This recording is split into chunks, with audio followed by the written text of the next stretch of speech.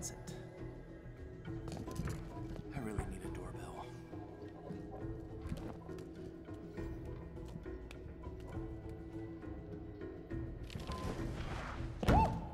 Well, you obviously don't understand the importance of balance, of moderation, of the happy medium. You sound like my mother. Is your mother a baritone?